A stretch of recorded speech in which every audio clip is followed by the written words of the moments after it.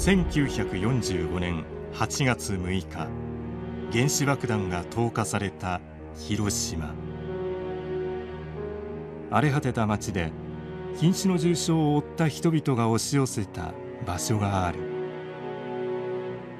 広島赤十字病院だ。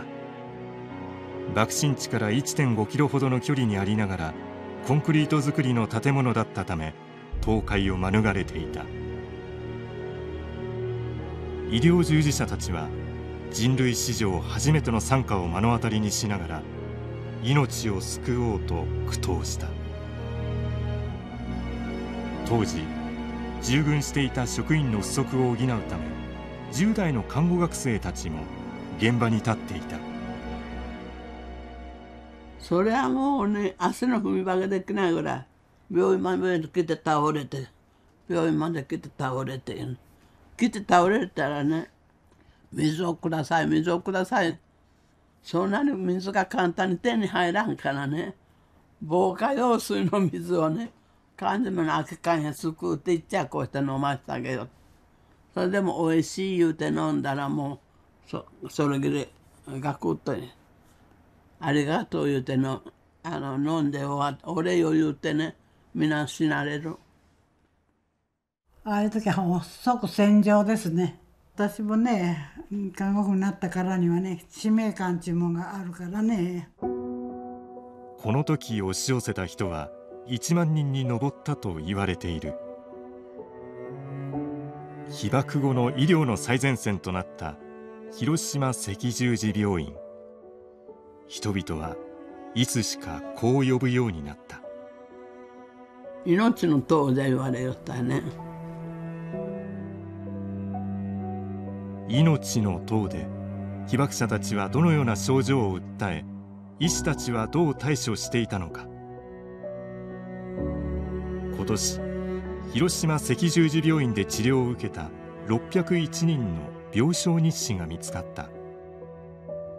被爆直後から爆心地付近で行われた医療の記録はこれまでに例がないものだった。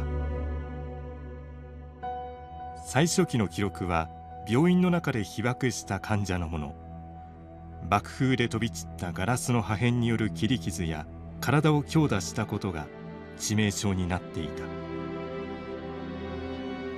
その後爆心地付近で被爆した人たちが運び込まれた。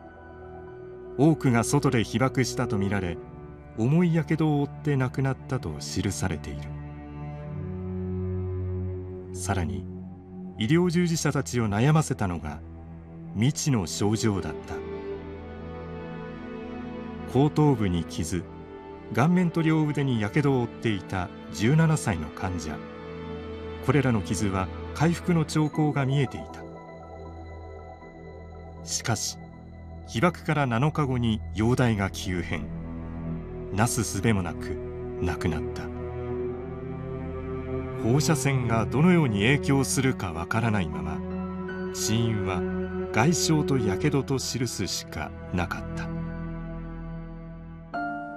医療従事者たちは懸命に治療を続けた。それでも次々と亡くなる患者を看護学生らがダビに付していった。通常の感情じゃない。とにかくもう処分しなきゃいうのでね。毎日あの担架転がしていってね。持って行ってあの民間の家の焼け残りの木をこう重ねてねその上転がしてそれで火をつけて。病床日誌に記されていた601人の患者。そのうち158人が亡くなっていた。